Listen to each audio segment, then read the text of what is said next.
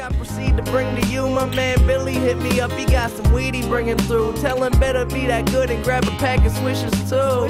That's what usually happens. Deserve some cool relaxing, smoking herb and laughing at.